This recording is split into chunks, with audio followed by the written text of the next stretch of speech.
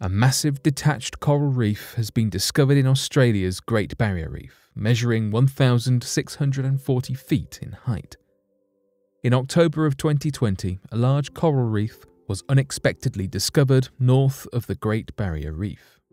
This new reef reaches 500 metres, half a kilometre, or 1,640 feet in height, making it taller than the Empire State Building, reminding us just how little we know of our oceans.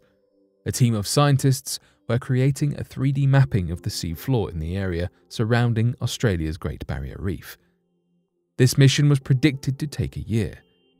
The team conducted their mission from aboard a research vessel owned by Californian nonprofit group the Schmidt Ocean Institute. From here, they were able to use an underwater robot called Subastian to move around the reef, giving them the ability to form their 3D map.